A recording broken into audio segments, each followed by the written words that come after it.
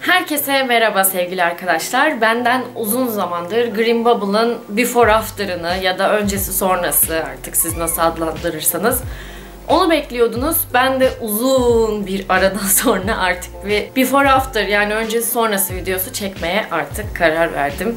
Buna hep karar vermiştim ama icraata dökemiyordum bir türlü.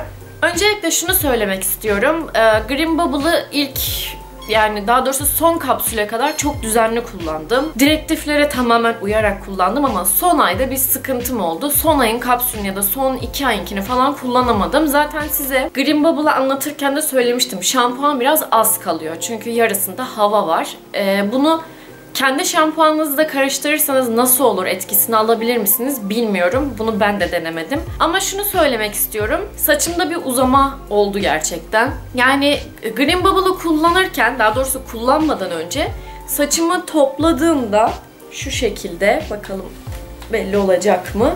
Altta çok fazla saç kalıyordu. Yani şöyle söyleyeyim alttan saçlarım düşüyordu, fışkırıyordu. Ama şimdi bayağı tepeden toplayabiliyorum. Ve aşağıdan hiç saç çıkmıyor. Yani azıcık çıkıyor. Ve şurası da sarkar hale geldi.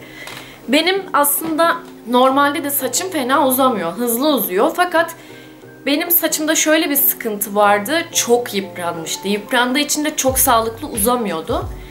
Benim gözlemim şu şekilde. Büyük ihtimal çok boya görmemiş, çok işlem görmemiş ya da çok yıpranmamış saçta Green Bubble daha çok etki edecektir. Benim en çok gördüğüm etki saçı gürleştirmesi oldu. Benim saçımda çok fazla dökülme vardı ki hala dökülme var. Büyük ihtimal bu mevsimle alakalı bir şey. Ama Green Bubble kullandıktan sonra buklelerimin daha belirgin olduğunu, bu arada şurada şöyle bir şey söylemek istiyorum. Şu an uzunluğunu göstermek için aslında düzleştirdim. Biraz bukle bukle olunca daha şey duruyor, kısa duruyor. Ben galiba ilk videoyu çektiğimde saçım büyük ihtimal şurada falandı. Yani ne kadar uzamış? 5 parmak bakayım.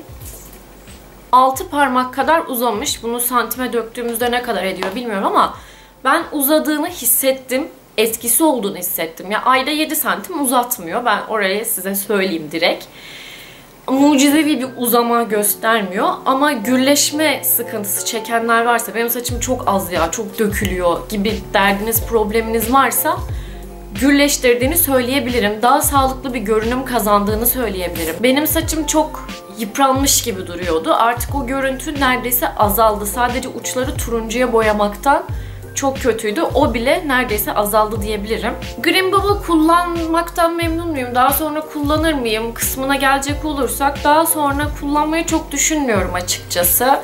Çünkü mucizevi bir uzama olmadı ki bunu ne kullanırsanız kullanın. Zaten saçınız asla asla mucizevi bir şekilde uzamayacak. Birkaç marka daha takip ediyorum. Ee, saç uzatma vaadi veren. Hair Tox vardı sanırım. Birkaç tane daha var işte yılan yağı vardı herhalde. Sanırım onları da bir deneyeceğim. Onlarla ilgili gözlemlerimi sunacağım. Green Bubble'dan memnunum. Yani uzattı mı? Ayda 7 santim uzatmadı belki ama ben faydasını gördüm. Size tavsiye eder miyim kısmına gelecek olursak evet tavsiye ederim. Yani bir zararı yok. Bir yararı var mı kısmı zaten hepimiz için önemli çünkü buna bir para verip alacaksınız sonuç olarak bir bütçe ayıracaksınız. Bence ayırabilirsiniz. Dediğim gibi benim saçlarım çok yıpranmış olduğu için belki de çok etki etmedi. Ama e, keşke düzleştirmeden önceki halini de gösterseydim. O zaman bile gayet sağlıklı duruyordu. Şu an parlaklığı arttı saçımın. E, dediğim gibi gürleşti.